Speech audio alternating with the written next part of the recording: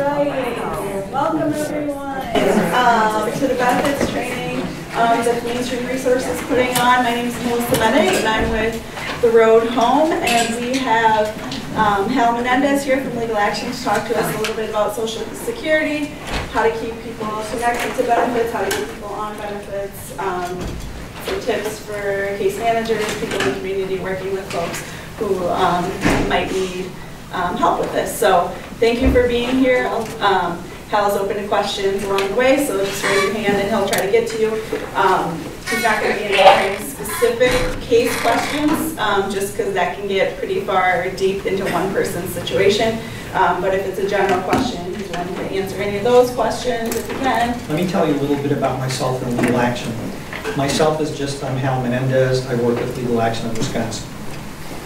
Legal Action of Wisconsin provides free legal services to low-income people in the southern part of Wisconsin. On the, the second page you'll see, Melissa, if you can go to the next page. That's our map. Those are the areas that we cover. You can see the offices, uh, the cities where we have offices, and the counties covered. What you ought to know is that because of uh, um, adaptations made to our intake system, anybody can call any legal action office, and with that one call, if it's a matter that we handle, information will be obtained and conveyed to the right person in the right office to get back to them to follow up and do an intake. So you don't have to worry that, well, I'm in Adams County, which office do I call? You can call any legal action number, and in fact, I believe on our website now, there is a statewide 855 number in addition to the local office toll-free numbers.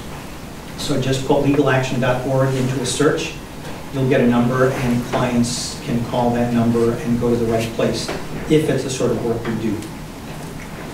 I work in public benefits, which involves Social Security, disability, and SSI. It also involves W-2, child care, emergency assistance, family care plus medical assistance, caretaker supplement, I'm sure I've missed something, food share, and, and various other types of benefits. Legal action also provides assistance in certain housing cases, consumer matters, including debt collection and foreclosure, family law involving domestic violence and threats of domestic violence,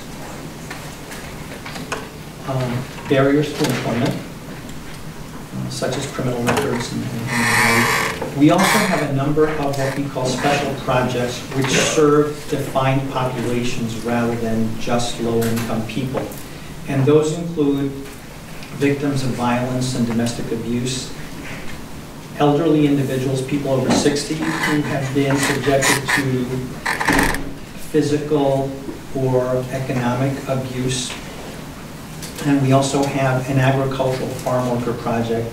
It's not limited to farm workers, it's agricultural workers throughout the state. And that focuses principally on employment law issues, employment, uh, protective employment uh, law, and public benefits. What I'm going to talk about today is SSI and social security disability. And the focus will be on how to work with people once they're on benefits. Although we'll talk a little bit about what you can do to help people who are applying for benefits. Because the disability determination is very fact-specific and individual specific to the individual circumstances, all sorts of circumstances, age, education, experience, and their specific conditions. I'm not going to get into that, those are very complicated uh, matters. And frankly, because of the type of work I do and the way we focus in our office, the disability determination itself, is- I'm not the best person to talk about.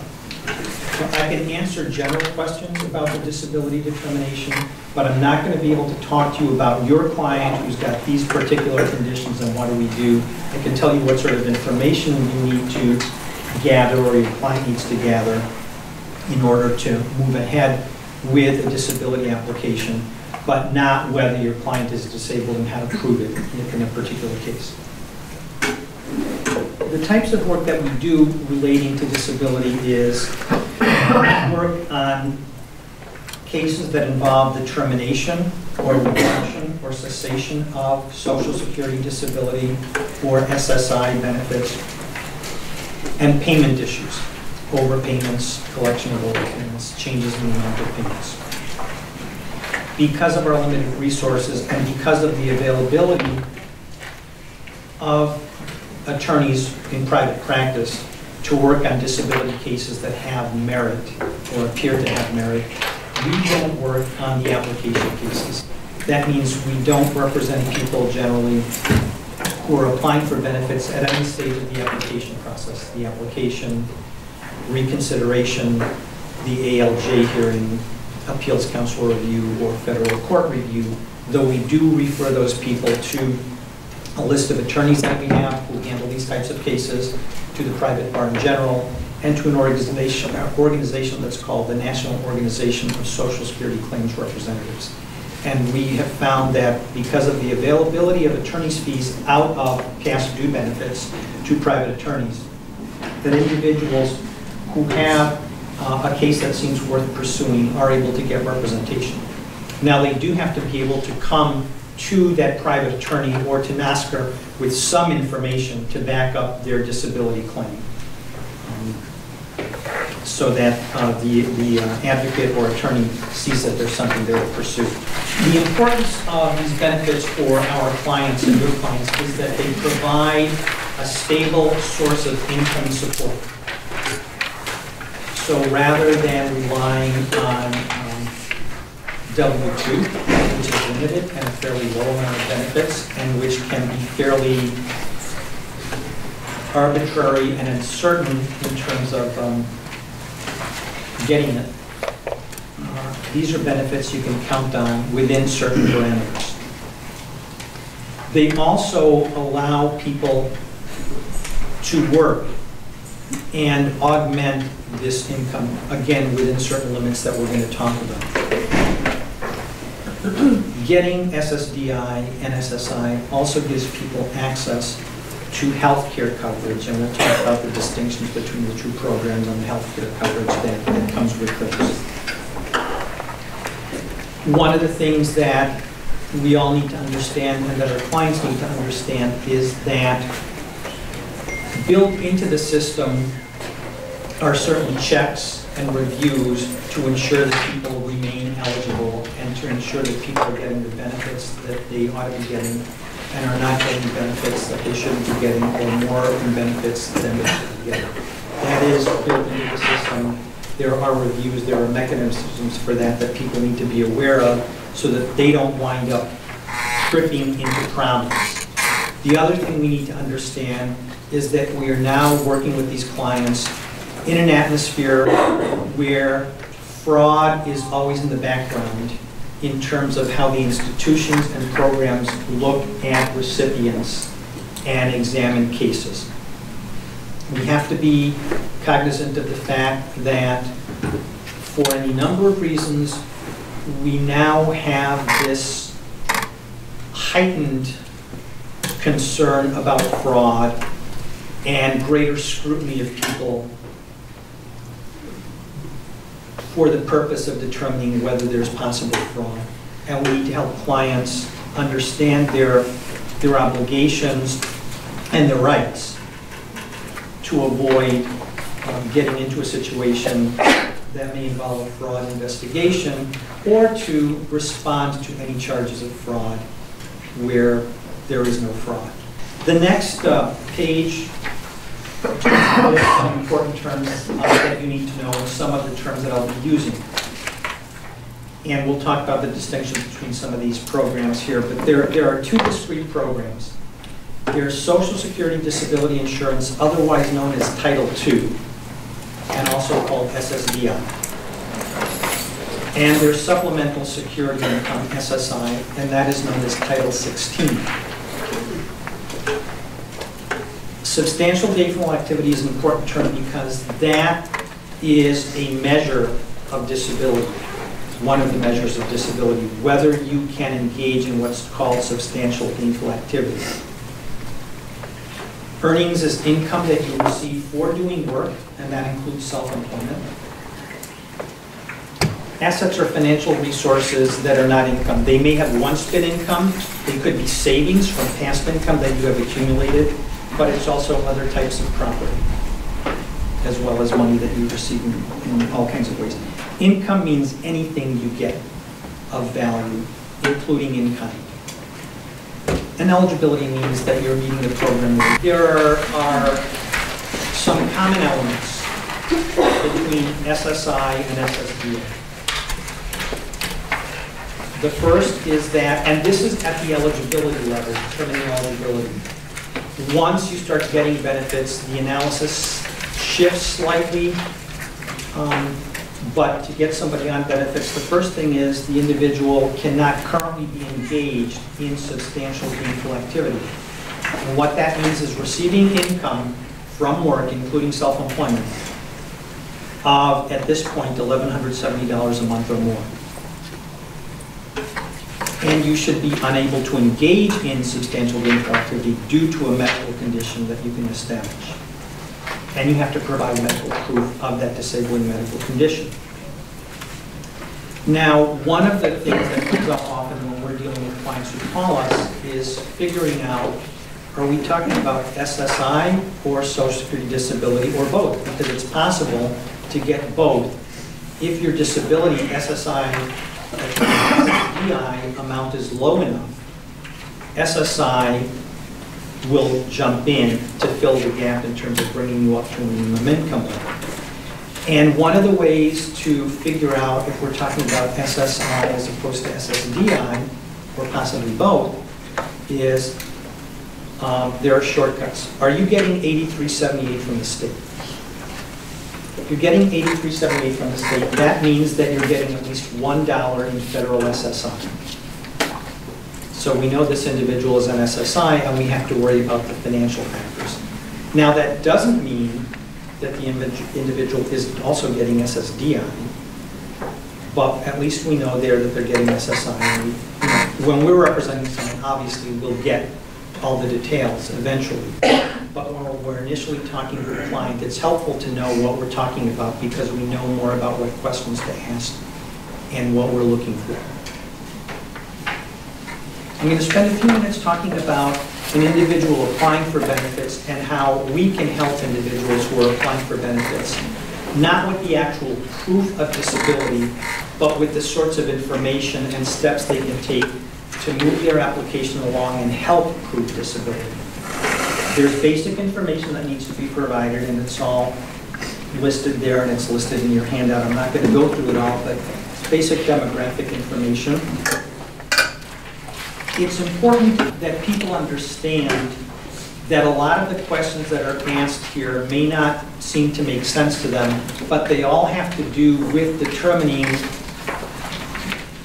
eligibility in some way or another for one or the other program. For example, people may be annoyed if they're divorced and they're asked questions about their former spouse. Well, if you were married for 10 years, you may be able to get benefits um, on your former spouse's account. That's why questions about that are asked, about the dates of your marriage, the length of your marriage, your for- information about your former spouse. Minor children, if you get disability benefits, social security disability as opposed to SSI, they may be able to receive benefits as well on, uh, on your account if you're getting disability benefits. A spouse can also get benefits on your account if you're receiving disability benefits because they're considered your dependents. And that applies to children who are living with a former spouse or former partner.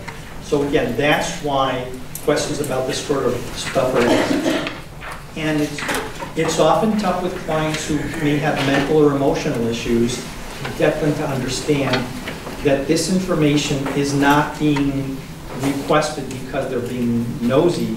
It's because it may help them get benefits or access a certain type of benefit that they might not otherwise get if we didn't have this information or if Social Security didn't have this information.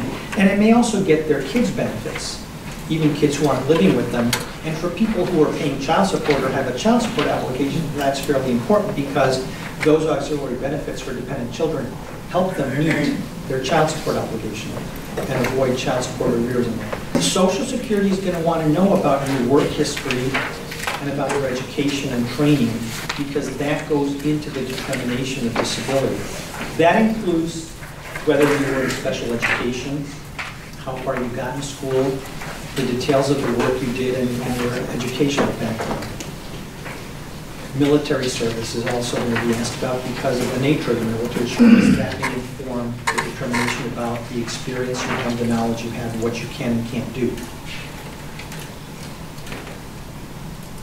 Financial information matters in two respects.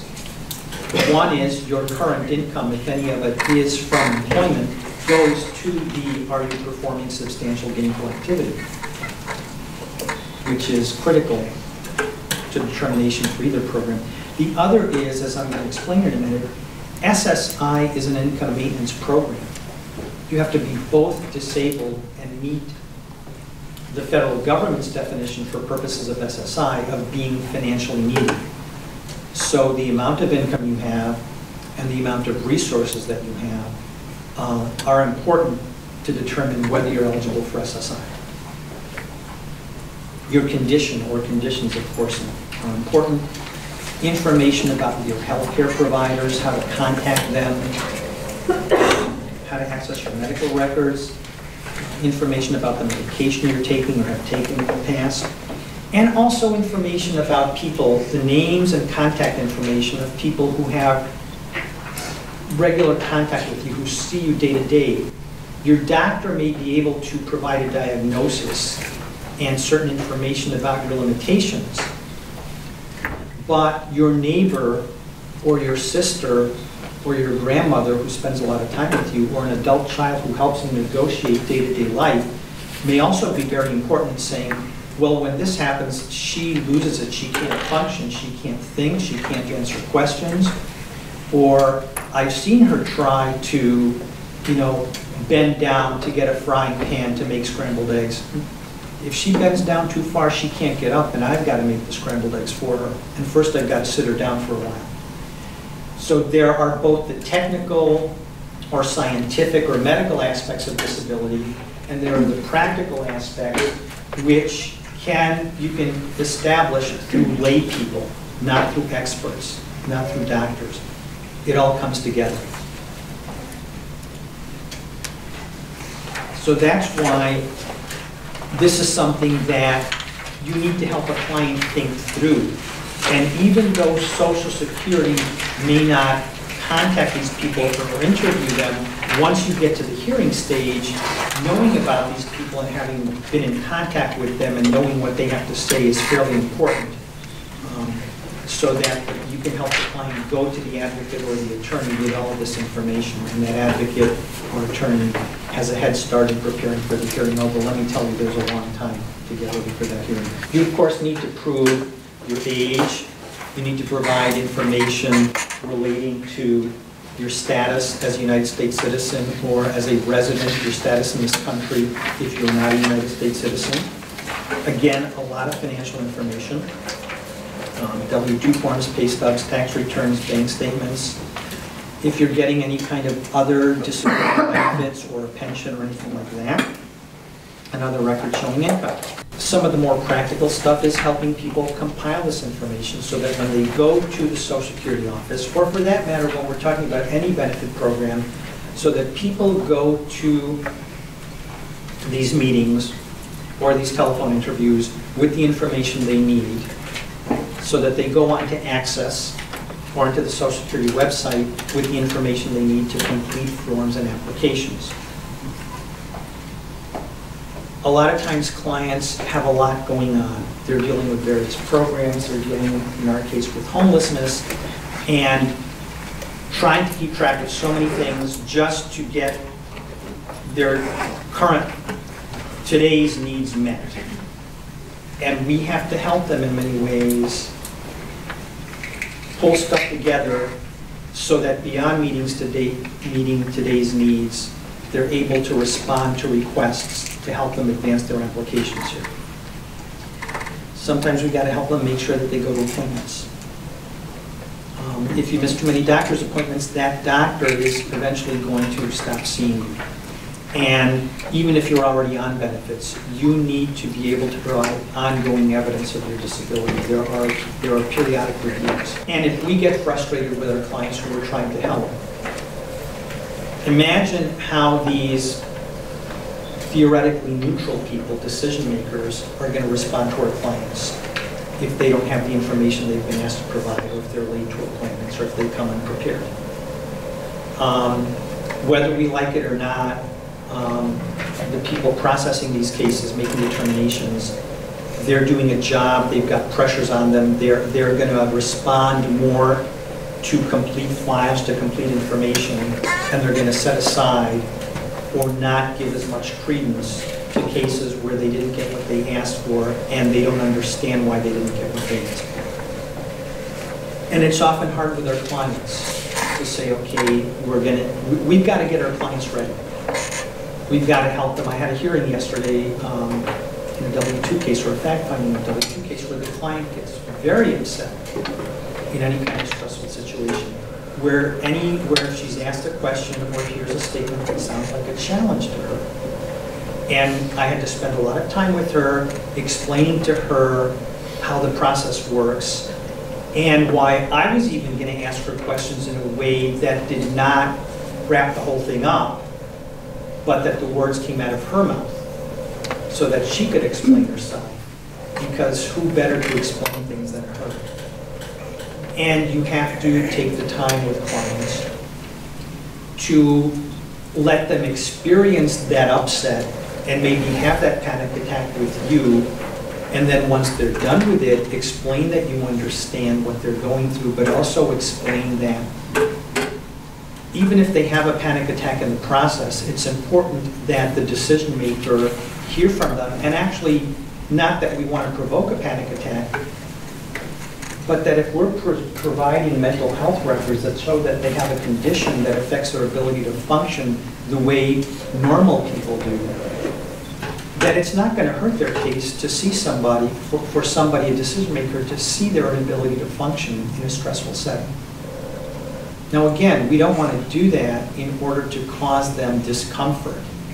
But we want to let them know that it's for the manifestations of their disability to be seen by decision makers. Yes. I have a question. Um, you talked about the console, um, tape. Are you gonna get that on somewhere, or for people who might not know what that is? Okay, that's a good question. Yeah. Sometimes Social Security will ask an applicant, or even somebody who's being reviewed, to go to a consultative exam. They have contracts with, with doctors, therapists, all sorts of mental health professionals. And they can't ask you to do that. And you should go to a consultative exam. Understand that uh, some of the consultants are not so great.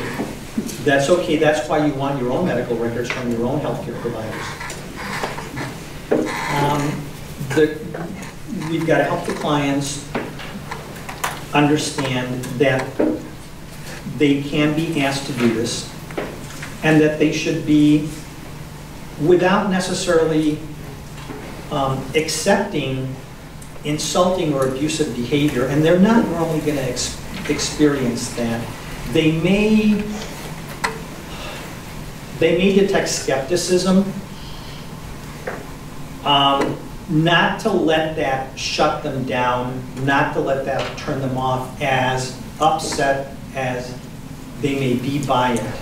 I'm sure we all experience that when we're working, trying to achieve something for a client, when we run into somebody who we need to convince uh, that our client deserves this, that you need to do this for our client. And they, you can hear it in their voice. You can see it in their face.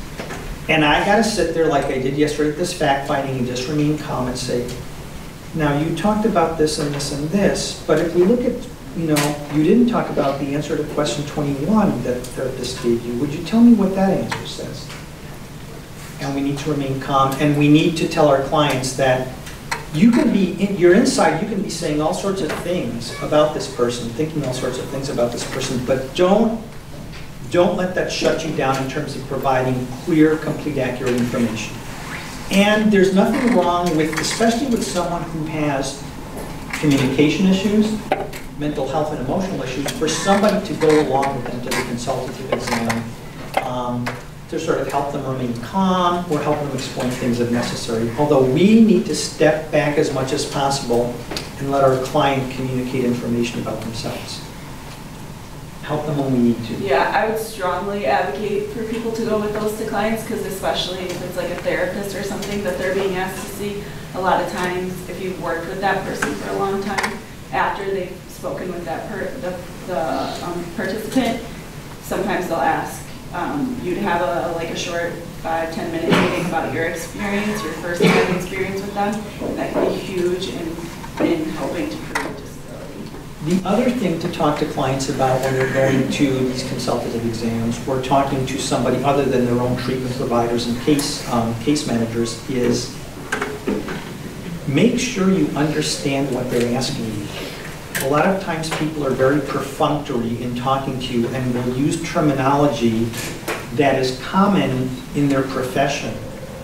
Um, and may be common in talking to white middle-class people and upper middle-class people, but is not understood by people who grew up poor and outside the system, um,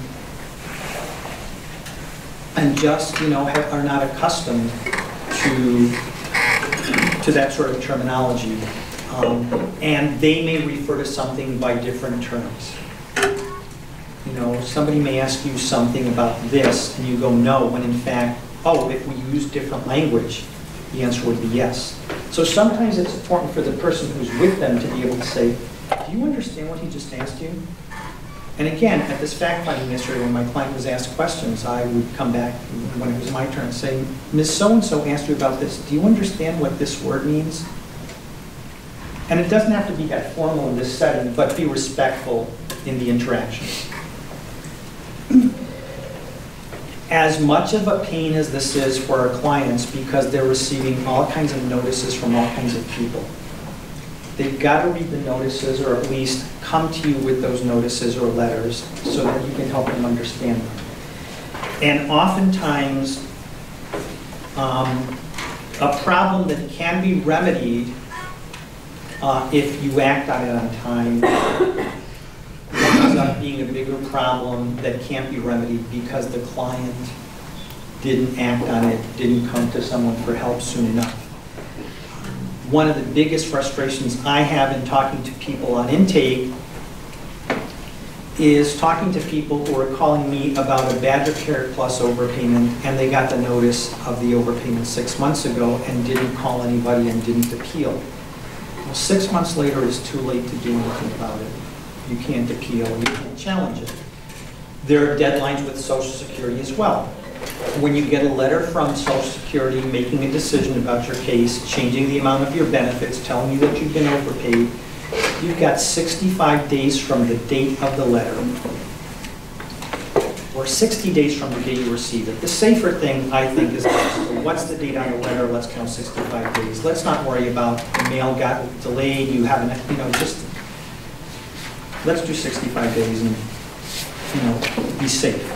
Although, you know, if somebody can prove that they actually got the letter 12 days after it was, after the date on the letter because of whatever reason, you know, hurricane, you know, there was no mail delivery for two weeks, it probably won't be mail delivery for a month in Puerto Rico. Um, Stuff like that. Then you can go from the 60 days. Um, Be on time and be as prepared as you can be for these appointments, for these meetings. Again, we're talking about people who, whether intentionally or not, they have, they have, a- they exercise a lot of judgment. And whether intentionally or not, they form opinions that affect the way they treat people and the way they make decisions. And if they come into a meeting with you annoyed because you're late for not a very good reason, you're already a step behind, and you've got something to overcome. And it should not be a factor in their decision, but we cannot help it that we're all human. and we all react to things. And I think we all see that in ourselves in some ways, and we have to get past stuff, even when we're trying to help someone. So let's do everything we can to make sure that clients are prepared and on time and have what they were asked to have, or can explain what they're doing to get it, or why they can't. And then they should get help.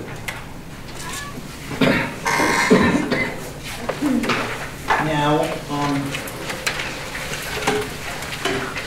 so we've already talked about the common element between social security disability and disability. Inability to engage in a substantial gainful activity because of a medically determinable condition. And again, there are multiple factors. Your age, your education, your work experience, and your physical or mental conditions. Now, there are other factors that go into determining your eligibility. For Social Security disability, it's an insurance program. Every time we get a paycheck, we're paying into the Social Security system. And it's not just for retirement.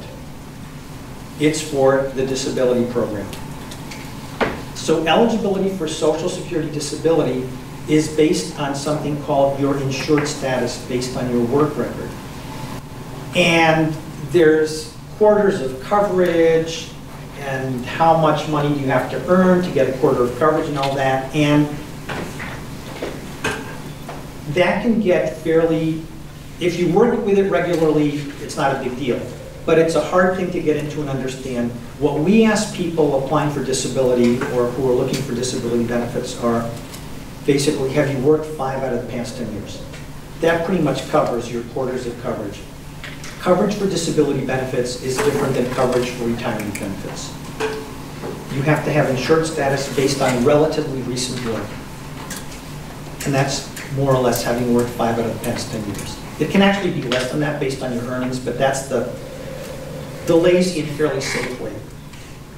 Um, and you'll find out from Social Security whether think, whether they think you're covered or not. When you go in and apply, it's probably best to apply for both. And then Social Security looks at your record. And you may often get a letter saying, you're not eligible for SSDI because you're not insured, but we're still looking at your SSI case. SSI requires um, not just disability or inability to work, but it requires that you meet income and asset limits because it's an income maintenance program for low and afford. It's similar to W-2 or food stamps, except there's a disability element to it, and it's a cash benefits program. Uh, So um, I can be fairly wealthy. I can have interest income and dividends and all sort of, all kinds of other money coming in. But because of my physical condition, I can no longer engage in substantial gainful activity, and I have insured status. I can get SSDI no matter how much money I make. That's based on my insured status and my being disabled, and I get a certain amount based on my contributions um, throughout my, my working life. If I have all that income and I'm disabled, I can't get SSI.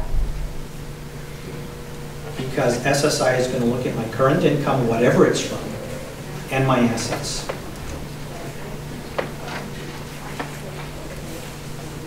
Now, your benefit amount is calculated in two different ways again.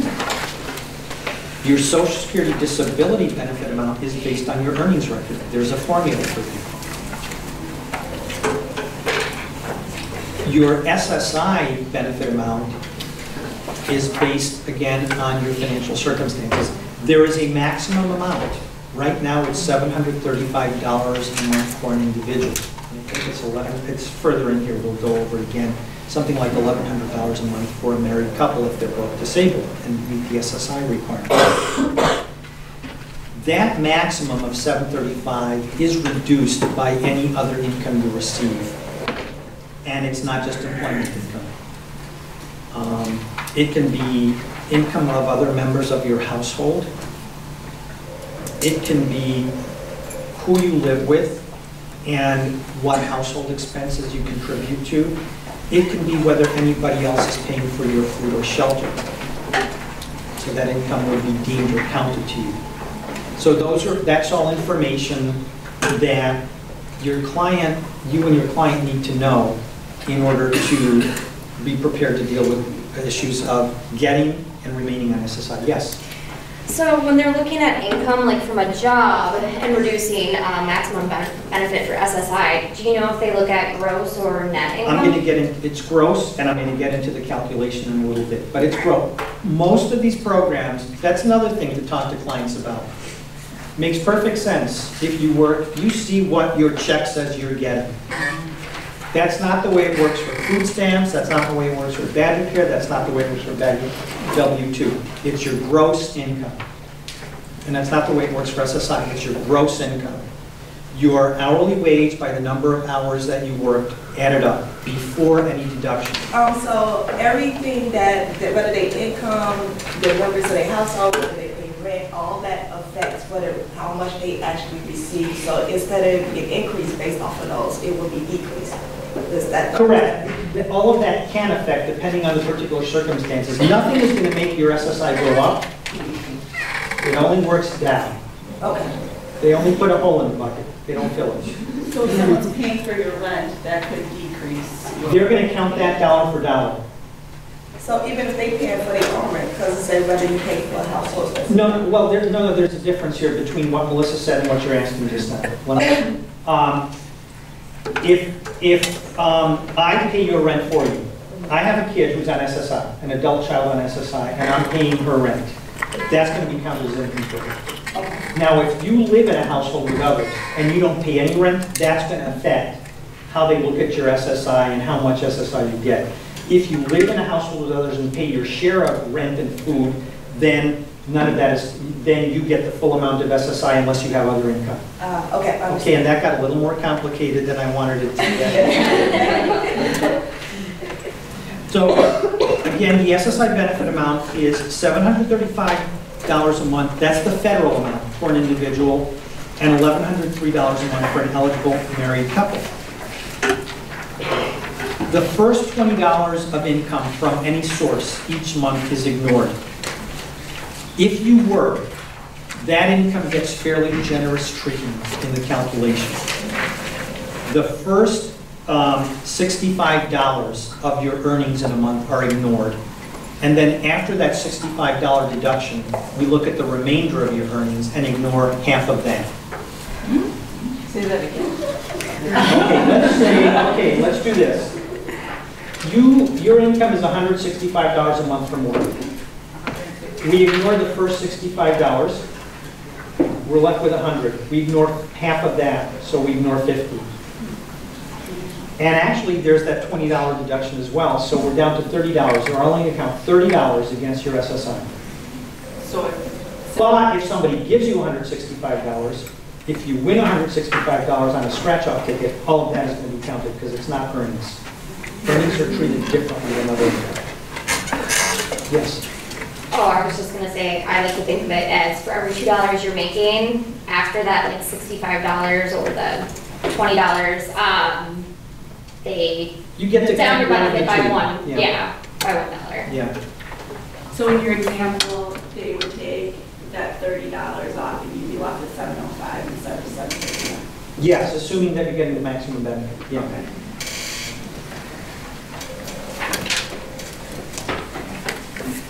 Is that clear to people?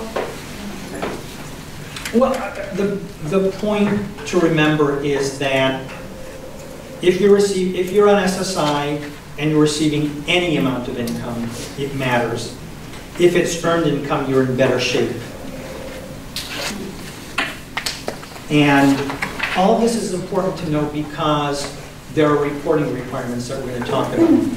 Uh, And if you don't comply with those reporting requirements, it can trip you up in a couple of different ways. Now, I wanted to talk for a minute about related benefits, the types of benefits that come along with Social Security Disability or SSI. And remember, because the SSDI, the disability benefits, are based on your earnings record, you may wind up having worked for barely five of the 10 years at a minimum wage job and maybe not even full-time. So when they add it all up and give you your disability benefit, that's $435 a month. Well, that's under the income limit for SSI. So SSI is going to kick in to bring you up. And of that 435 in disability benefits or Title II that you get, 20 is ignored. So you're going to get the difference between the 735 and 415 in SSI. And there, there, we're, in a minute, we'll get to the, the importance of getting any amount of SSI. If you get Social Security disability benefits, a dependent spouse and dependent children may also be eligible for benefits on your account. And if you get Social Security disability benefits, and I don't get this, why it is that a disabled person has to wait 24 months in order to get health care. But once you have received, uh, once you have been disabled and SSDI eligible for 24 months, Medicare eligibility kicks in. That's Medicare Part A, Part B, and Part D. Now, being eligible for Medicare doesn't mean you get it for free. You will still have to pay the Medicare Part B premium. Part B is to go to the doctor. Part A is hospitalization. Part B is regular doctor's visits. Part D is the drug coverage. And you may be better off in Wisconsin's drug coverage than Part D. There is a Part C. Part C is Medicare Advantage, which is you go into an HMO instead of having a Medicare card that you can take to any, any provider. If you get SSI, it's different. First of all, if you get one dollar in SSI a month, you get eighty-three seventy-eight from the state in um, a state supplement. So that's another, and that doesn't count against your SSI. That's added to your SSI. If you have children living with you and you get SSI, you also get what's called a caretaker supplement. Uh, Now, they do do an income calculation for that, and both parents living with the child must be on SSI in order for the caretaker supplement to be paid for that child.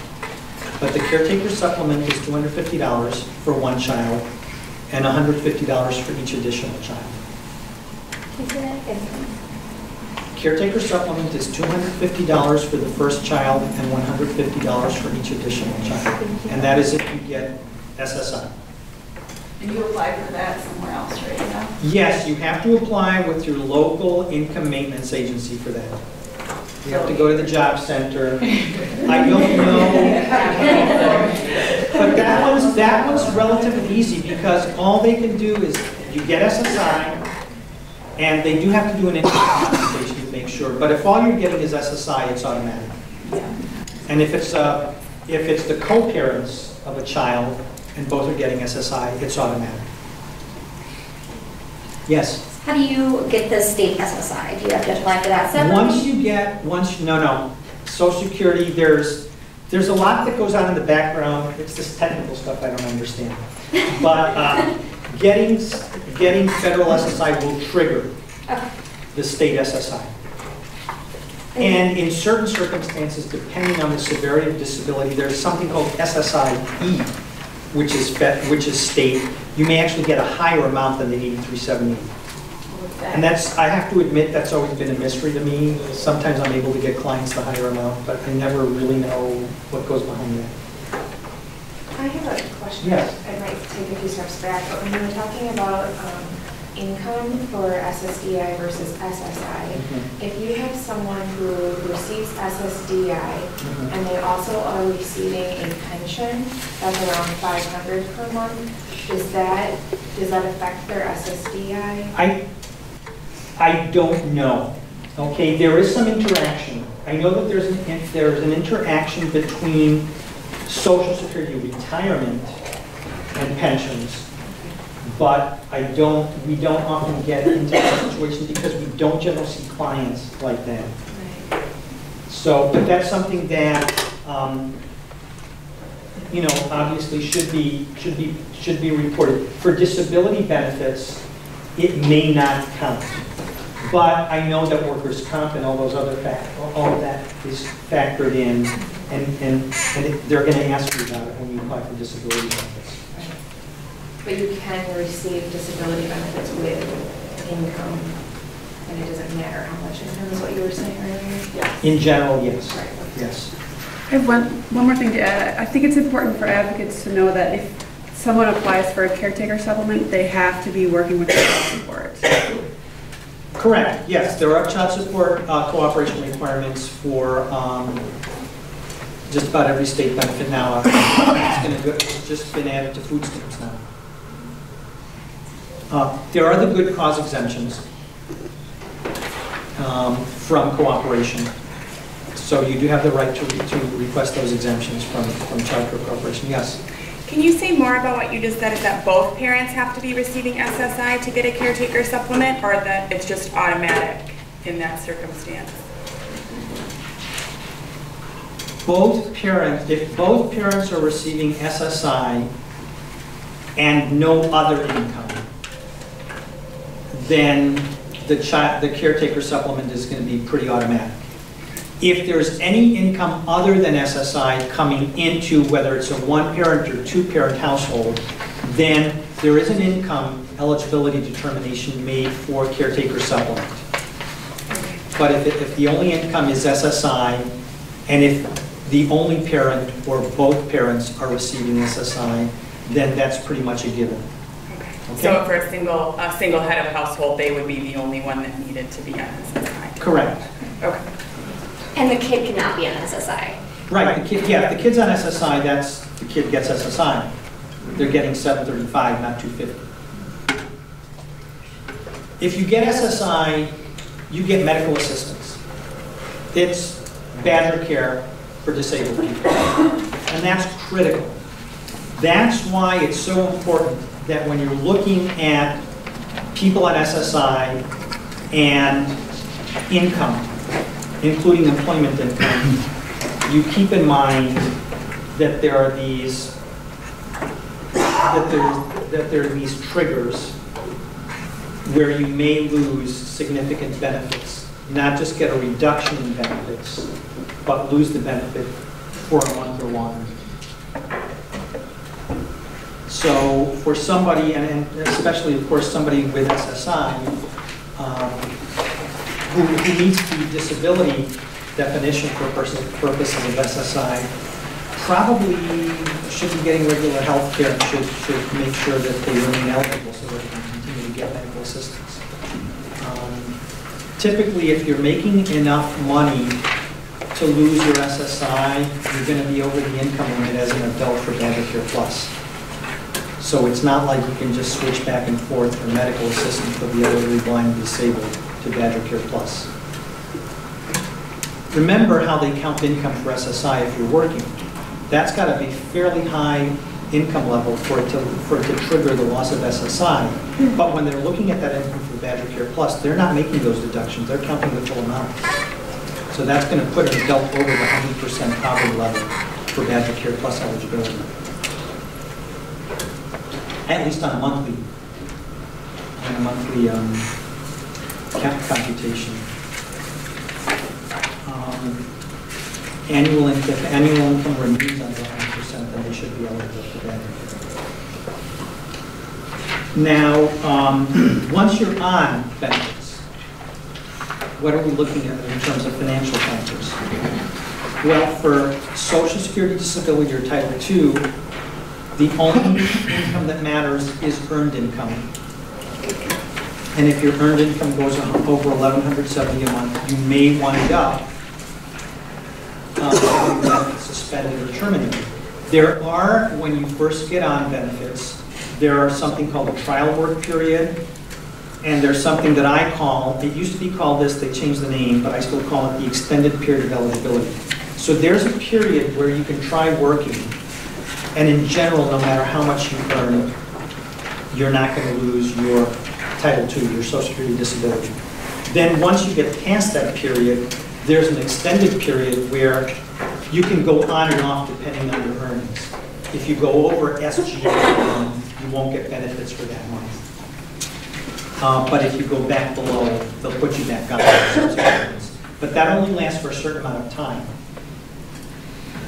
And the other factor is that as we look at it down the road in general, you've got a lot of months of going over SGA, eventually you're going to be reviewed to determine whether you're still unable to engage in substantial gainful activity. Yes?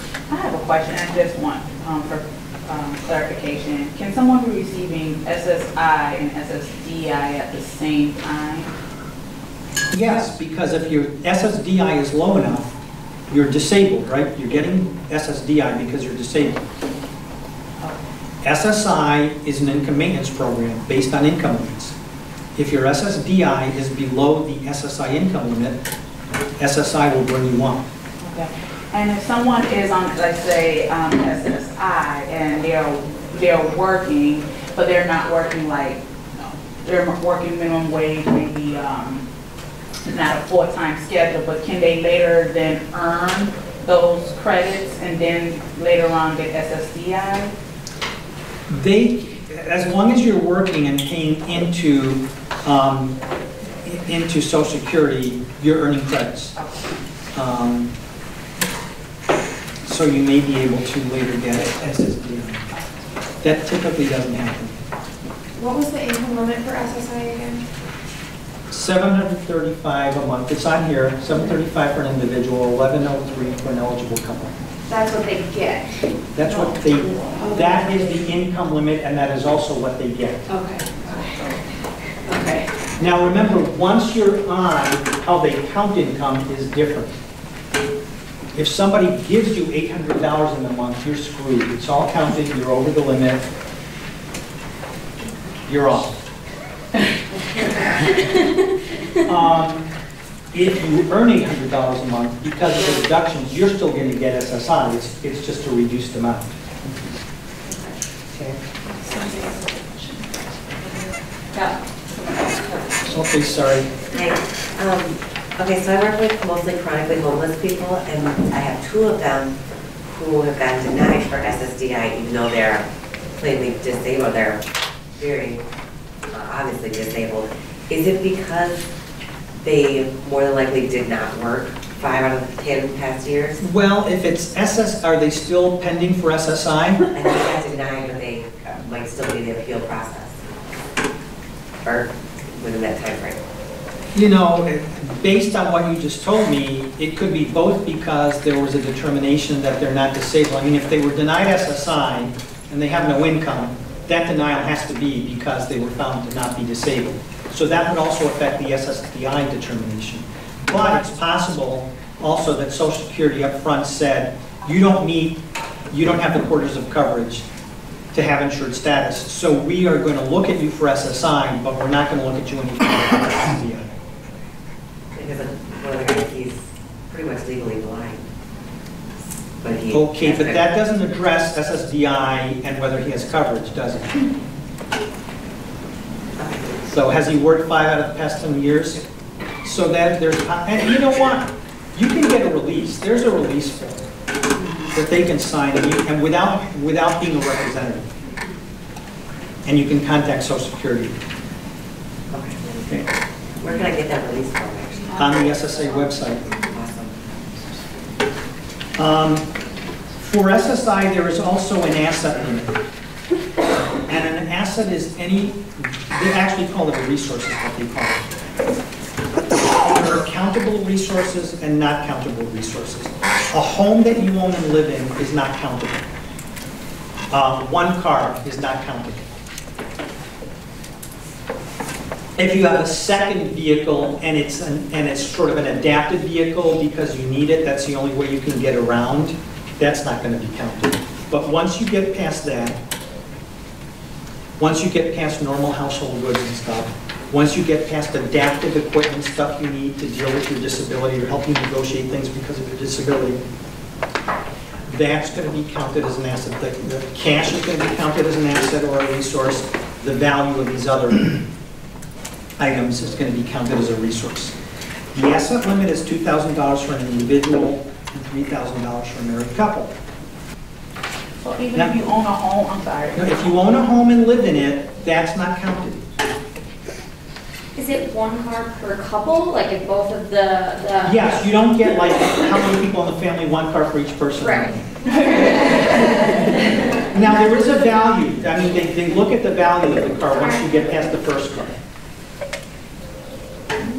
Um, But let's talk about income and assets for a minute. Um, What you receive in a month is income. It's only income in that month. It's never an asset. What you take into the next month is an asset. So if you have a bank account and you have $1,500 in that bank account, and come October 1st, you get your SSI check, goes into that account, that's put you over $2,000. But that's income in October, it's not an asset in October.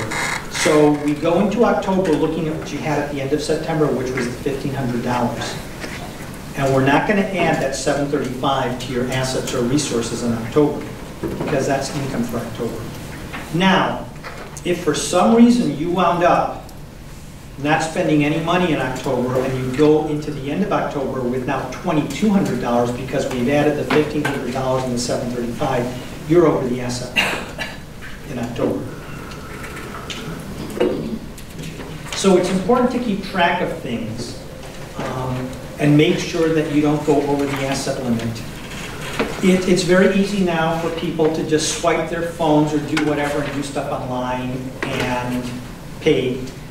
For our clients on SSI, they need to be on top of things and know how much money they have in their account come the end of the month. And if they need to make a payment, maybe before it's due to get back under that $2,000, do that. How does the government find out how much you got in your account? They find out, let me tell you. Well, You're supposed to tell them if you go over. Okay, I know that. And if you don't- Don't, for some reason, do they, upon review or something, go back and check all of your They, balances? they may ask, to- they do periodic reviews and they may ask for bank statements. Um, You may have given a bank statement to somebody when you apply for food stamps and somehow that makes its way to social security. There are a lot of matching programs. The other thing that um, can trigger, i- it's not direct, but it can trigger sort of looking into things is your earnings record is out, not out there for the whole world to see, but there's an earnings record. Social Security has an earnings record, the state has an earnings record. So that, that can trigger taking a closer look at the case. What about like a retirement fund, like an IRA or something? Does that come as an asset? It's gonna count, what, what you can access for SSI is gonna be counted. Yeah. What about gifting? If someone gives you a gift, I can see that in cash, will you be count as an asset? No, when you receive it, typically, when you receive income, however you receive it, it's income that month. So a gift is considered income? Typically, it's gonna be considered income. And if you still have that, that gift come next month, then it becomes an asset. So what you get this month is never an asset this month. What's left over is added to what you already had and is added to assets.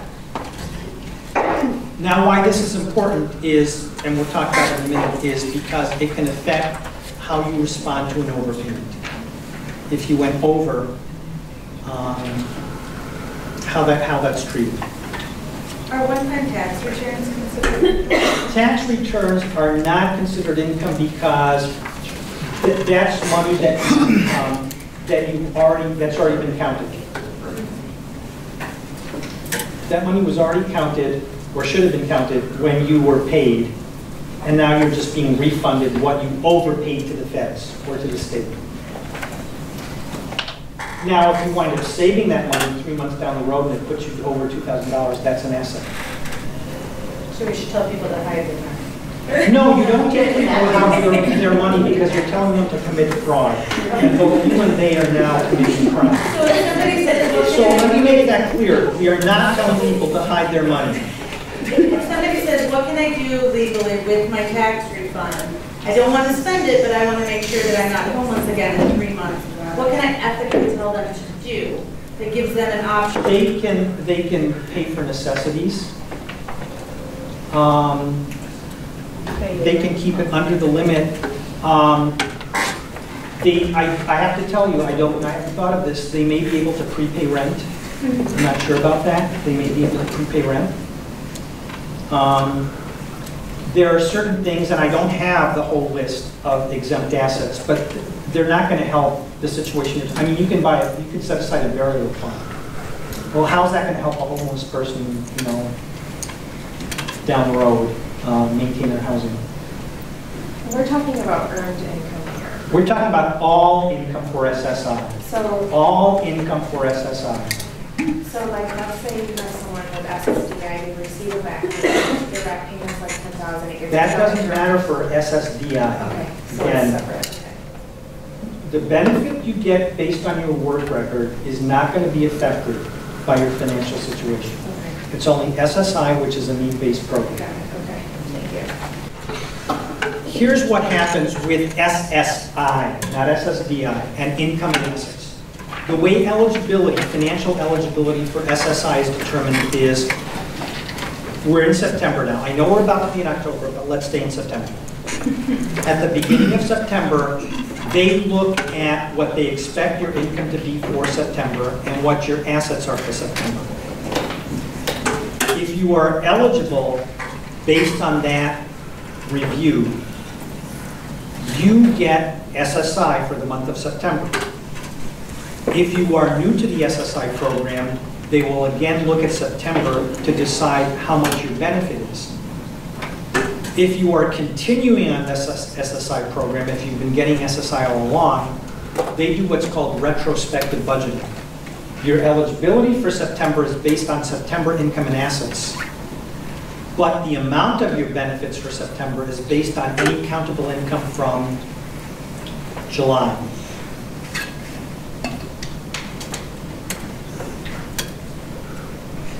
Yes, Now, when, we're talking about SSI, I know we're talking a lot about the adults, but sometimes when the kids are doing SSI, does the parent income or asset make Yes. the difference? Can you explain how that? well, yes. Um, There's a formula which I can't go through, but there, there's something called deeming. And the income and assets of a parent, uh, of a custodial parent, or a caretaker relative, typically caretaker relatives, it depends on the precise relationship, um, are going to be deemed. Now, they do take into account the whole family situation, who we're looking at, how many adults, how many children, and there's a pro rata amount. But, um, yeah, a parent's income is going to be counted uh, to some extent in determining a child's eligibility and a child's monthly benefit amount. But it just won't be at the level that you explained with the sixty-five, got the twenty dollars not counted. They go through a whole complicated formula. And no, it's not that precise formula because again, they account for other people in the household who are not on SSI. Like if there are four kids, that, that parent's income is going to be deemed among the four kids. So only the portion that goes to the kid on SSI is going to be counted against that kid's SSI. What's the max a child can get? 735 plus the 735. 8378 Oh, from the state. I.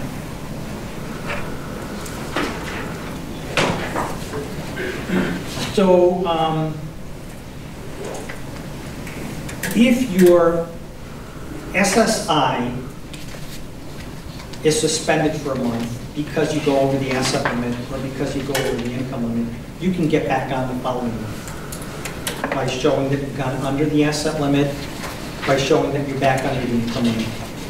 But if you go 12 consecutive months without getting any SSI, you're off.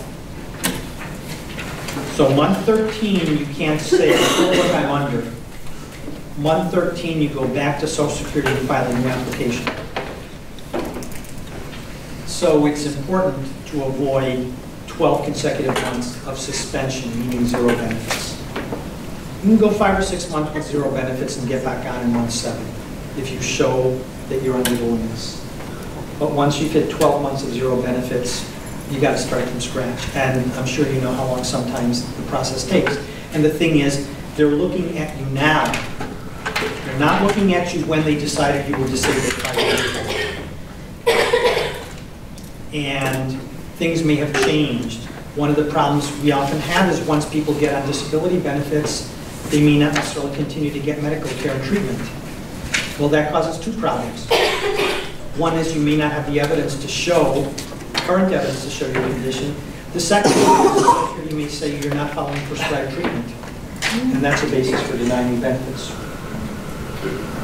So it's important. Certain conditions, they're kind of immutable, they're not going to change. If you've got, you know, um, somebody who, who was, you know, who had oxygen deprivation when he or she was born and has severe cognitive limitations, that's there. An IQ of 40 or a non-existent IQ at the age of 16 is not going to change. So they're not going to be reviewed. There's no medical treatment for that condition. I mean, the kid may get colds, the kid may break an arm, the kid may develop another disability, chronic disability. Um, but that fundamental disability that got them benefits, that's not going to change. So they're not going to be reviewed, really, except at age 18, there's always a, review when a kid turns 18. But for other conditions, including mental health conditions, treatment may improve your condition. Physical conditions, um, with technology and advances, adaptations may occur which may make it possible for you to engage in certain substantial gainful activities based on your work experience, education, and skills. So people are reviewed periodically whether they're still disabled. And that's both for the Title II SSDI and for the SSI. So people need to continue to see their doctors and get treatment and be able to show their current condition if asked, and to show that they are getting treatment and following prescribed treatment. So we don't have a time frame for when they would be reevaluated, it's just random? It's not random, there is, um, the system, their, their diary, and it's, it's based on, at the time of determination of disability, there, there are levels of expected improvement that are coded in, and based on that, you may be reviewed in as, in in as soon as two years. Others may be reviewed five years later. Everyone who's getting disability as a child is going to be reviewed at age 18. And it seems like if you work a certain amount of time, it triggers that sooner. I don't know if Probably, that's true yes. or not, but that's what it seems like. Yes, But it could be second year or five years after. yeah. So it's important for them to be seeing their doctors regularly. Right, and it's not just a one-time review, those reviews can re- can occur periodically. Okay. And then it's also, I would assume, important for SSI to be current with their address or some sort of mailing address. For all of it. That's how they're getting contacted, just so they know. Yes. Not just that, but if they don't have an address, then they're no longer paying rent, and they will cut you, or cut your benefits accordingly. So I recently had that happen where somebody didn't have an address for a month or two, and they cut the benefits to them. So it's important to make sure that they have those addresses. If they don't have them, then they're gonna assume that you don't have Does it matter if their rent amount changes for disability benefits? Like, No. It doesn't, so. What matters is that they are paying a share Okay. of their housing, of of their shelter and food. So it doesn't matter if it goes up or. It Doesn't matter if it goes up or down, and, you know, if you live in uh, 236 project or long-term tax project, or if you get Section 8, none of that is So your benefits are not reduced because you live in low-income public housing and you pay reduced rent. Okay. Okay? What does matter is, and this often happens with people before they get on SSI and during the early stages of SSI. Uh, you live with a friend or a sister or a grandmother, you have no income, this person is essentially supporting you. You're not paying rent, you're not paying for food, you get on SSI. At that moment, because of your situation before getting SSI, they're going to say you are living in the household of another. If you're living in the household of another, your benefits are cut. They're reduced by, um, I think it's a third. Once you show that you're paying your share, you'll go back up to the full benefit. Uh, The other thing that I I just thought of, I'm sorry, going back to resources and assets, and I do see Sandra, so I'll get to you in a second. Sometimes people get, it takes a while, they may go to hearing, and they win, and they get a year or two worth of retroactive benefits. They have a certain amount of time to work down below the asset limit.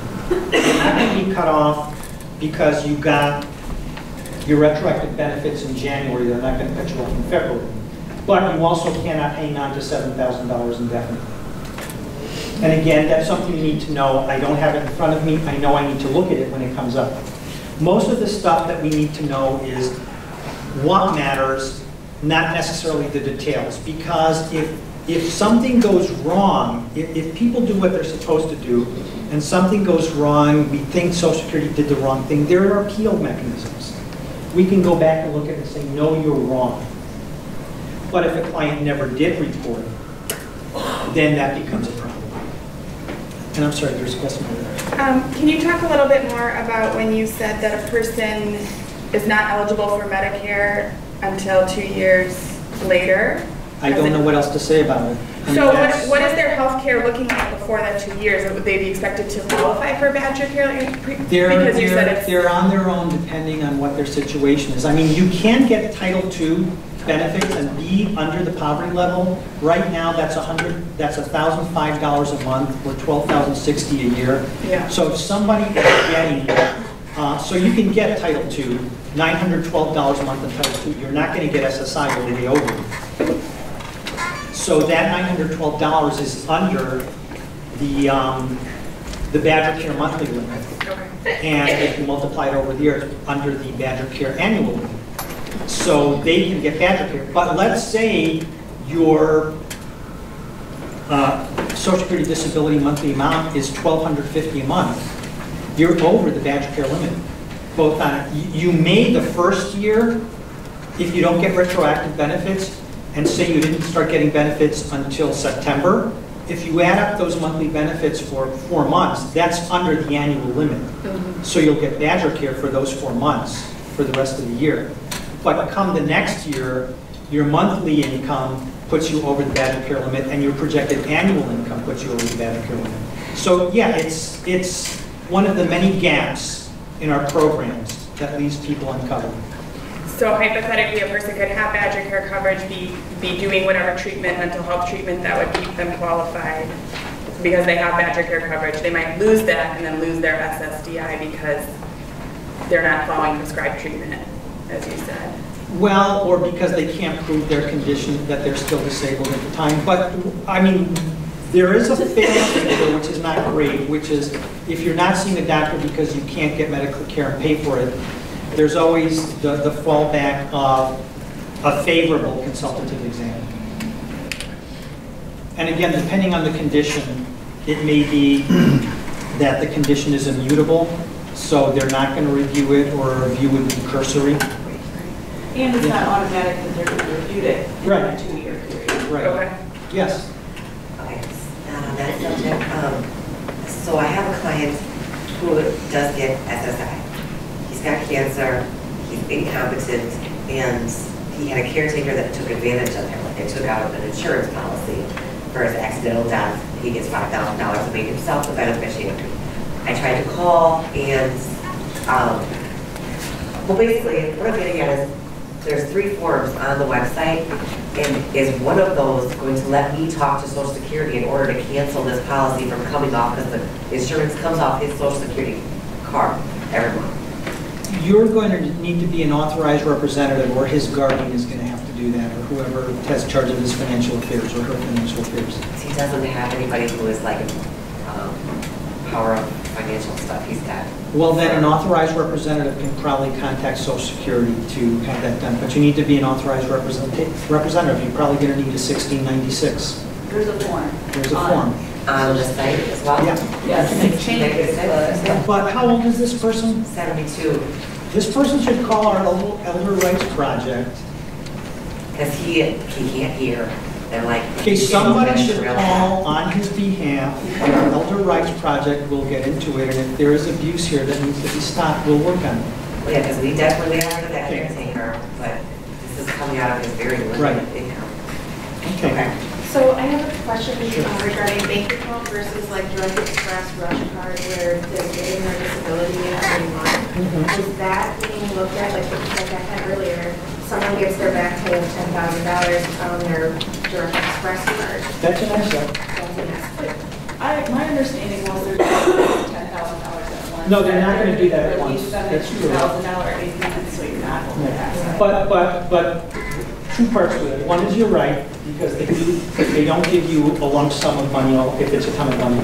But the more important thing that you're asking is, yes, whatever form that money is in, it's counted as an asset For SSI, for SSI, not yes. DI. DI does not look at assets. Okay. DI does not look at income unless it's earned income, it. in general. I mean, there are these quirks, but. Um, So, for DI, we want to keep people under the SGA if possible. There are, without getting too much into the weeds here, there are circumstances under which certain expenses that are necessary in order for you to work can be deducted if those expenses are necessary because of your disability. That's called impairment-related work expenses. Those can be disregarded in looking at whether you're making SGA. Um, I see an error here on maintaining eligibility for SSI and SSDI. It says SSDI twice. That second one should be SSI. So cross out that D because it's for SSI that you want to keep income and assets below the limits. Uh, As we already discussed, you do need to continue to get medical care and treatment and to follow prescribed treatment um, to maintain eligibility for cases reviewed. You are required to, to report um, income and asset changes that, uh, for SSI. That's uh, just about every letter you get, and I understand it because we all get stuff. We get our credit card bills if we get them on paper, and we look at the amount we owe. We don't look, there may be all kinds of other stuff on there. We may be signing off on all kinds of privacy stuff, but all we look at is how much do I owe, how much do I have to pay. We all do that with all sorts of stuff. People, like our clients who have so much stuff going on, they just want to know, am I getting it, how much? But it's important that they understand, whether they read those letters or not, they're, they're obligated to what those letters say. So we've got to help them sometimes understand. We don't need to necessarily go through each and every item on the letter, but it's important that they know that there are things they need to report, and that we can help them with that, to make sure that they get reports on time and avoid having problems. Social Security will occasionally send requests for information, requests for phone calls, questionnaires, and the like. You've got to respond to those, because if you don't respond, that may trigger an interruption in payments.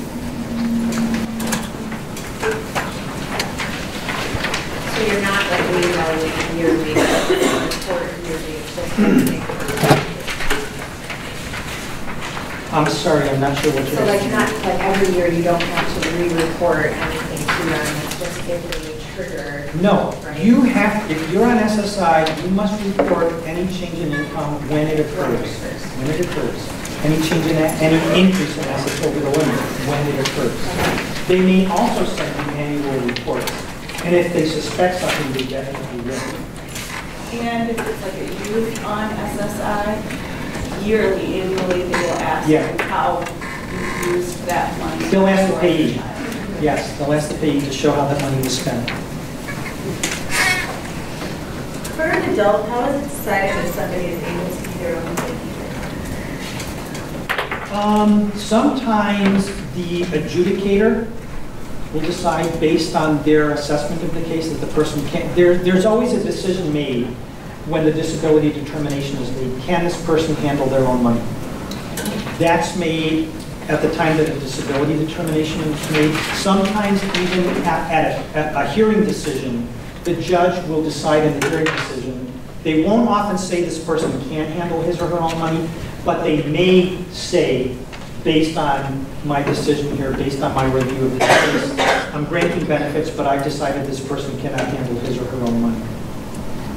Yes. How do you get that changed? Like if somebody, you know, is, Are you changing the payee or are you changing the, the, whether the person needs a? 'Cause those- whether the person You, you need to then provide evidence to social security that, you know, from somebody or other. You know, sometimes it's just the person turned 18, their disability is not a mental or emotional impairment, which affects their ability to handle money. So it can be just based on change in age and becoming an adult and, you know, meeting his or her own needs. The other thing can be, the therapist now says they reach the point where they can handle their own money. So we have a brain injured gentleman, and he's gotten worse and worse, and he's not being right. Not doing, uh, Well, that, then I don't think you want to remove the payee. there is no. Well, you can ask for a payee. Well, someone can, someone can ask for a payee, now you have to, okay, let me make a distinction here. I, as a lawyer, have certain ethical obligations, and I can't necessarily call SSI and say, my client needs a payee. You in your role need to figure out what your obligations, limits, your professional obligations limits are in terms of what you can and can't do. I cannot go, you know, unless there's something imminent that my client is going to do that's going to harm somebody else, I cannot go and tattle. But they can choose themselves that they want to. They can, they can certainly ask for a payee, you can encourage the client to seek a payee, but, you know, those are the sorts of things where, You don't go to a doctor, you don't go to a therapist, you don't go. I understand, I understand that, but, um, what, um, you know, uh, perhaps the landlord can write to SSA and say, I'm not getting paid. Yeah, I mean, we do that all the time, is, um, we're saying. I mean, you may be able to do it yourself, I just don't know what your obligations and ethical constraints are.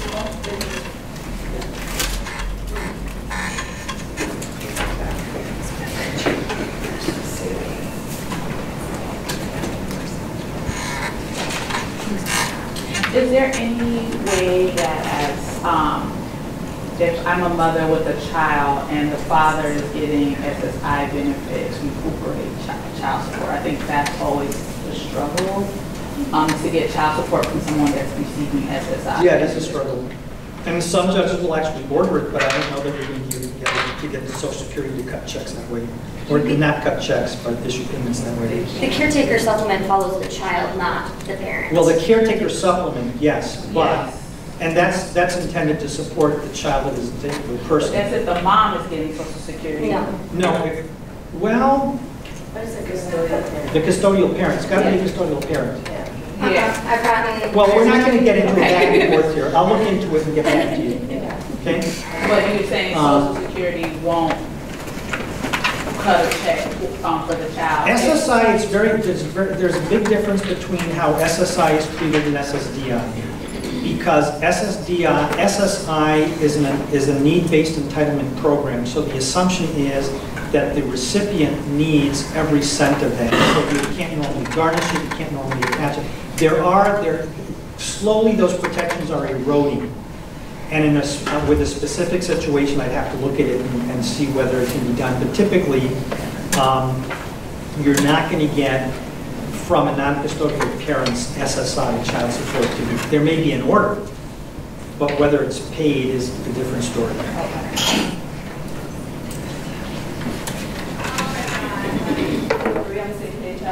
Um, yes.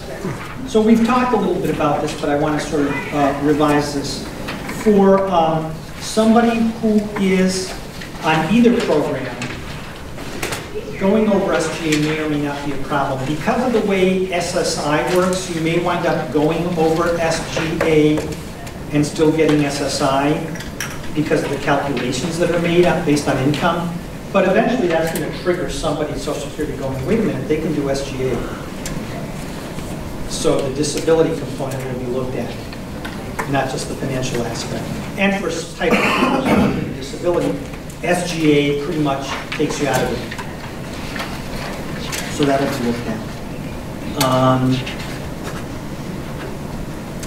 Now, um, again, income or assets that reduce your SSI, your monthly SSI, to zero, if that goes on for 12 months, that's going to be a problem because your, your SSI will be terminated It's suspended for up to 12 months. Once you've been suspended for 12 consecutive months, you're terminated. Um, The other problem is, if you're not getting SSI, you don't get the caretaker supplement, you don't get the state supplement, you don't get medical assistance. Um, Be careful in how, how, um, how gifts are conveyed um, in terms of assets and income.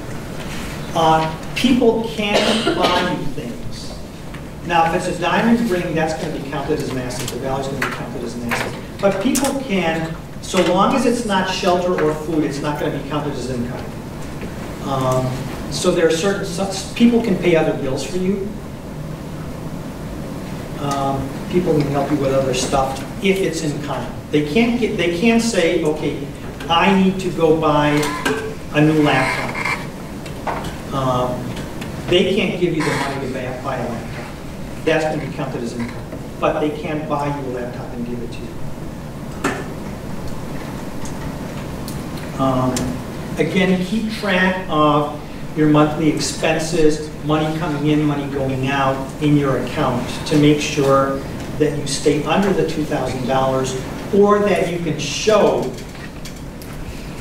that on uh, on October 1st, when um, you thought you had less than $2,000 because you had already sent payments out. You had set them up. You may want to make those payments before the end of the month to make sure that you're under the $2,000. Um, A change in living situation can affect your SSI eligibility or amount of benefits. If you get married, if a child comes in or out of the house, if the status of a co-parent in your home or a spouse changes in terms of their receipt of disability benefits or income. Yes? So if I am a single parent who has been receiving SSI and my child, I get the caretaker supplement from that child, and I marry a non-SSI recipient, even though he's not the birth parent of the child, can I still get caretaker supplement, or do I lose that because I have a, a second? There's going to be, there's, your SSI is definitely going to be affected. Let's say he has no income of any kind. If he has no income of any kind, I don't think the child would be affected. I'd have to, I'd have to double check, but my initial response is the child would not be affected. I have to go back, because once you've got somebody else in there, you gotta go through all of this, you know, the flow chart. But I think the chart should, be- I think the child would be, I'm not sure. I'll check on that and get back to Melissa. Another thing that can cause problems for people in maintaining their eligibility and benefits is not responding to requests for information um, when it's, and again, failure to provide medical evidence to prove continuing disability when a review is conducted. And again, that is something that doesn't necessarily emerge on the spot. I mean, it emerges on the spot in the sense that they ask for records and don't have them, but that's something that is cumulative in that you haven't been going to the doctor for a while, you haven't maintained a relationship with your healthcare provider so that they can provide you with evidence of your continuing disability. Now, one of the biggest problems we see with people is overpayments. And those overpayments occur because people didn't understand how certain events affected their eligibility or the amount of their benefits, and they didn't report information they were supposed to report. Um, An overpayment occurs when benefits are paid to someone who's not eligible for those benefits, or when benefits, in the case of SSI, are paid in a greater amount than should have been paid. So that can occur um, typically in the case of an SSI, if income or assets are not reported, or changes in income and assets are not reported. In the case of SSDI, if you don't report that you're working and you're an SG substantial activity. Income of more than $20 for someone getting SSI is going to be, is going to be looked into. If it's earned income, there are those deductions and everything, but once you're getting, once you get over two, twenty dollars a month in income, that is a potential reporting event that you need to look, the client needs to check into whether it needs to be reported or not. Um, How long have you been I think it's 10 days after the end of the month. Sometimes I confuse my programs, but typically by the 10th of the month. Um, If your assets go over the limit, you've got to report that. Okay. Now, with overpayments, there are two parts to overpayments, which I'd like to talk about for, for a minute. I know I'm talking a long time, and I want to leave some time for just open discussion. I just hope we can do that. There's the question of, was there an overpayment? And there's a question, well, there's a question of, was there an overpayment, and what is the amount? And there's a question of, even if there was an overpayment, do I have to pay it back? Um, And was there an overpayment is something that has to be appealed within those 65 days of getting a letter telling you you were overpaid, or the amount of the overpayment. That's something that has to be appealed within 65 days. Um, I have seen only a couple of cases where in fact there was not an overpayment. Typically, when they say an there's an overpayment, there was an overpayment, there may be um, disagreement as to the amount, how things were counted, how things were reported. But now they, I don't want to say that they're wrong. They can be wrong about whether there was an overpayment in either program. But most of the cases we see do involve at least some sort of delay in reporting that may have triggered some amount of overpayment. But you do have to scrutinize when an overpayment comes in. Was there in fact an overpayment, and is this the correct amount? Because that does have to be appealed within the 65 days. Now, whether you appeal an overpayment or not, if you miss the appeal deadline, if you decide there was an overpayment, there's another element which is called a waiver. And a waiver is, yes, there was an overpayment, but you don't have to pay it back. And a waiver can be granted if the individual was not at fault in causing the overpayment. And then typically, the second element, although there are three different other factors, but the one that typically comes up is uh, it would cause financial hardship to repay the overpayment. Um,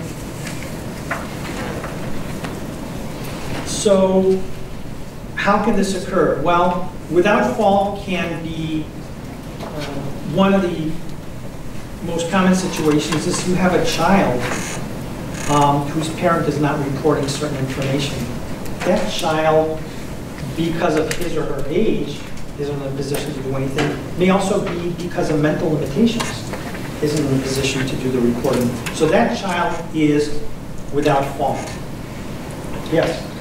An example of somebody who's been in charge and the nursing home did report that they were at the nursing home, so they've been getting their check the entire month, would that be no fault to the? Well, it depends on that person's condition, because if that person is capable, is, is, has the mental wherewithal to report. Like she had no idea that she should be. Well, the- the- the- they send you letters, they send you notices, you can't say I didn't know. There's a difference between um, neglecting your responsibilities and not having the capacity to learn about and carry out your responsibilities. And I'm not trying to be hard here in how I say it, but that's the way it's going to be looked at by Social Security. So it can't be, I don't know. If you're, if you're enfeebled, if you have a mental incapacity, that's a different story. So if somebody had a cognitive disability and were, say, unable to read the notices that they were being sent, that would not be. Or understand, even if they could read them. Yes, yes, if somebody's cognitively limited, if somebody has severe mental health problems, even if it's not a cognitive limitations where they just can't cope. So what notices would she be getting though? I mean, like. Well, first of all, you get this, when you get benefits, and they send it periodically. Whenever you get a notice, just about every notice that says we're changing your benefits, or this is your benefit amount for this year, go back to those other pages, because it's going to say your reporting responsibilities. It's going to list them all. change in living situation, change in income, all that sort of stuff. Yeah, I think she's updated her address with them. Yeah, that, you know, I understand what you're saying, but Yeah. that doesn't do it because, you know, seeing 1212 Stoughton Road doesn't necessarily mean, automatically mean you know it's a nursing. So, again, I, I'm sympathetic to the situation, but in the real world of social security, that's not gonna be without fault.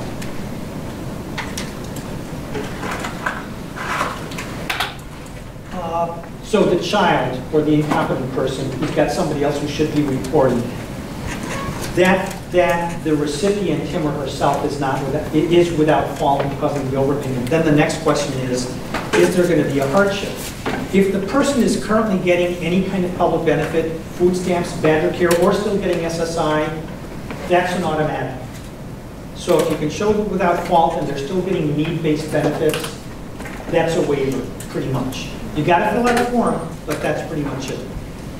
If they're not getting benefits, you have to fill out a financial form, you have to list income and um, expenses and that sort of stuff and show that, you know, if there's more than twenty-five dollars left over when you add it all up, they may say you can pay it back. I just had a question about the interaction. A lot of times with overpayments, if somebody's in subsidized housing, for instance, you know, they'll have paid a significant, they will have been getting an overpayment. They'll have paid high rents, high, you know, their other benefits are high. They're paying high based on that overpayment. All of a sudden, you've got a massive overpayment. I'm, I'm sorry, I'm I'm So let's say somebody's in subsidized housing. I understand that part. Okay, so they're paying based upon this high amount. They're paying their rent based on the sign. What, how much they pay in rent, I am not, I used to do a lot of housing, as Brenda knows.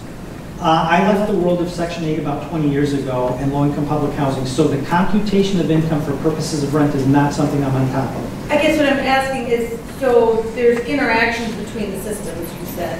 So if there's an overpayment that somebody, you've made this big overpayment and so their money is reduced, is there any way then to to merge the housing side of it? And what I'm saying is I don't know that. There's a difference between exchanging information and how that information is treated. And the, the housing programs have their own HUD regulations on how income is counted. I can tell you that for income maintenance programs, um, it depends on the program. If you're paying back an overpayment, the full amount of the benefit is counted because you're paying back a debt.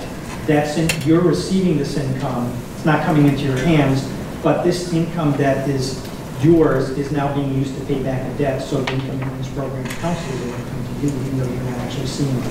So you have to check back on the uh, particular. Yeah. I feel like it would all even out though, really, because your overpayment, they're gonna garnish your check and then you're gonna report that to HUD, and so your rent's gonna be like- like thirty percent less. Why not?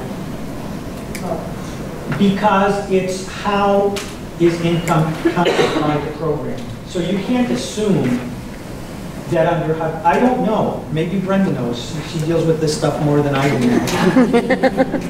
Let's not, let's, let's not spend a half hour on this. It's something that you need to look at. Okay? And, and what's gonna determine that is the HUD regs, not, not any social security rules. Can you talk about the relationship with like filing a tax return and SSI and SSDI? and, Like if there's like any correlation between filing your taxes, do you have to file an SSDI, an SSI? SSI is not, doesn't, doesn't trigger a um, filing, but I believe SSDI does. And the, the filing trigger, I believe right now is sixty-two hundred dollars. Well, that's for earned income. There's a different filing trigger if you have other income. And so, yeah, that's taxable. So yes. Uh, At a certain level, not, not, every- not from, you know, the first dollar, but it's, it's it's included, it's included in taxable income. So they should file taxes if they're receiving SSDI. They may need to, They need to. okay? Thank you. Okay. Um, For SSI, if you have an over, if your overpayment is not waived, or, and sometimes part of the overpayment is waived, part is not. What you'll see in these letters is, they'll, you know, they'll let something sit for ages, and then all of a sudden you'll get an overpayment notice with like five different discrete periods. And they may decide that the 2012 overpayment can be waived based on the factors for, for for waiver, but that the 2013 overpayment can't be waived for whatever reason. Um, How can we protect ourselves to make sure that, um, that, I mean, even though clients are reporting, but like for something that's so old, like. Well, if they report, it's going to be on. What's old is that they get information late, um, and then, then put it into the system, that the client didn't report. Typically, um, overpayments are not based on Social Security's failure to act on a report. Overpayments that I've seen are typically based on the client's failure to have reported. So you have to make sure we dot our So we have to make sure that the clients report. Um, And the thing is, again, if they report something they didn't have to, one of two things will happen. Either nothing will happen, or Social Security will incorrectly take action, and that can be appealed. Um, If you're getting SSI, typically an overpayment is recovered by reducing your SSI by 10% a month. You can voluntarily agree to more, but typically it's limited to 10% a month because it's a need-based program, so they don't want to take away all your money. Title II, SSDI, that's not need-based. So they may come in and take the whole amount um, because um, they can. So then you've got to go back and say, wait a minute, this is my only income. Let's talk about continuing my SSDI, but withholding a smaller amount. And they will do that. I mean, they- they've got program rules for doing it, they've got a manual for doing that, and guidelines for doing that. So, But, but it's not automatic, you've got to go and get that. Now, knowing what to report, people do get these things, and these are available at the Social Security office. There's also, if you go to, there it is, these are also online, so you can print them out in better than booklet form so that you have them handy for working with clients. And they cover stuff that I haven't covered here, you know, about rights and responsibilities. They talk about some of the work programs that you can go into where the income won't be counted or where you can protect your SSI while you participate in a training program to develop workability so that you can become independent. Um, and all kinds of other stuff. Uh, We got to make sure that clients understand their obligations or that we help them report. If they can't understand their obligations, that they at least know to come to us and say, hey, this happened, and we help them report. We've got to know that um, money left over from the previous month is added to the money you already had set up, set aside in a bank account or in a- an EBT card or whatever. Um, and that that's going to be added up toward the limit. The full amount in a joint account with somebody is going to be counted as your money. So you may have a joint account with um, a relative because you want that relative to help you manage your money. That's a joint account, you each have equal access to it. So even though for whatever reason you've got this joint account and you, you agree among yourselves, half is yours or half is mine, or a quarter is mine and the rest is yours. That's not the way it works for Social Security, because you can in a joint account, you can walk in there and screw your buddy and take all the money out. Um, You have the right to do that. So Social Security is going to count it all. Yes? Um, I, it is going back to something we talked about earlier. Now, domestic partnership, if you file for domestic partnership, is that similar to the marriage where that can harm their benefits?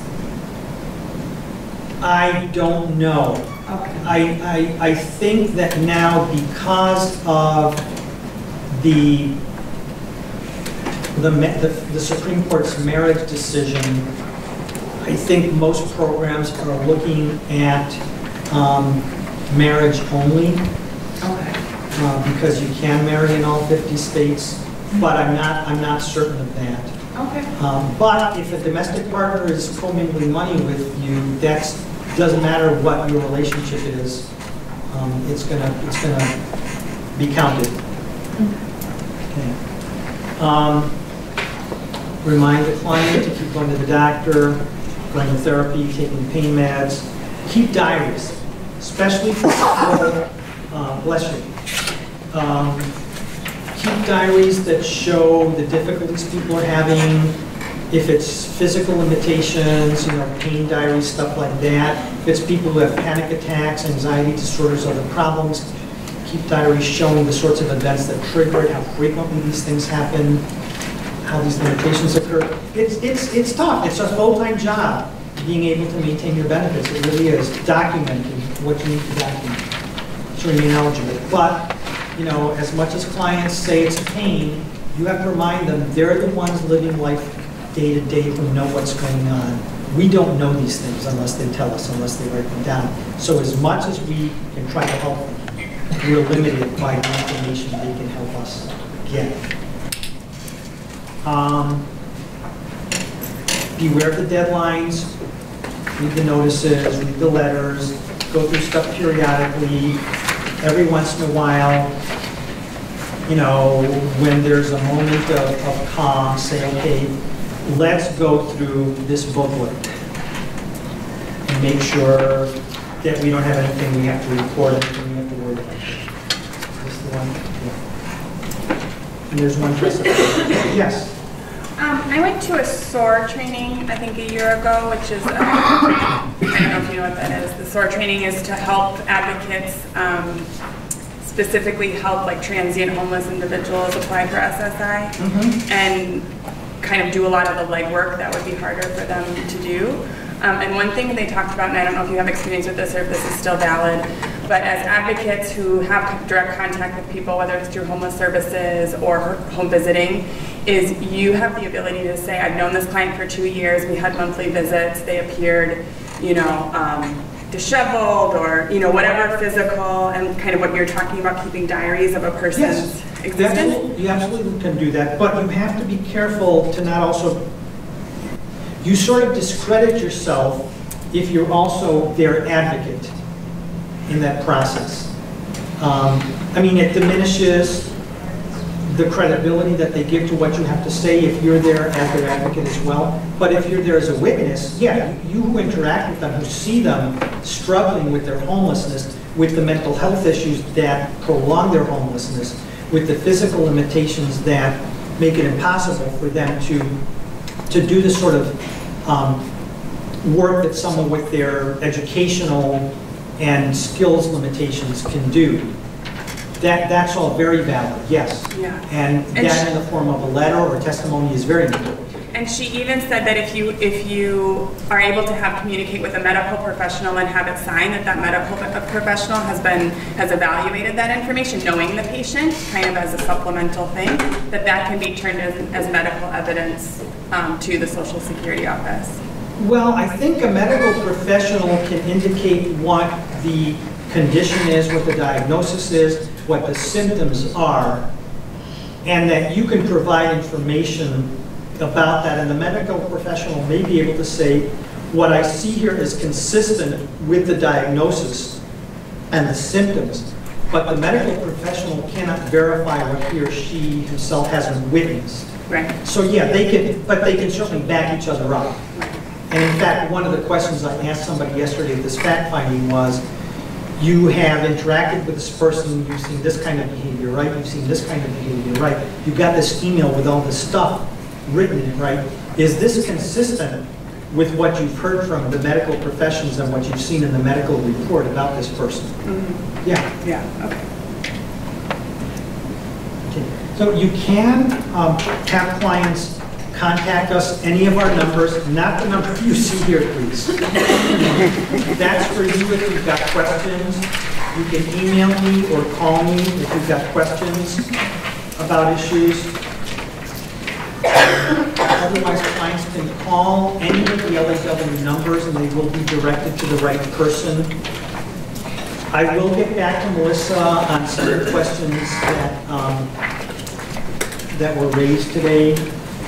And if you get any more, you know, let me know and I'll get back to you with the answers on those. I have one more before you finish up. Yes. The SSDI clinic and the SSI clinic come at different times, or is it all at the same time?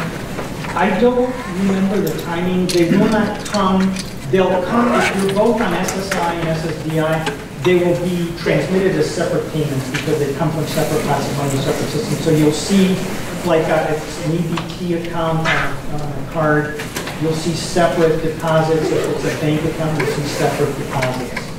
And same for state SSI, that's going to be different. And now, the state SSI and CTS may come together, will come together. If there's a caretaker supplement benefit, that's going to be lumped together with the state SSI a single.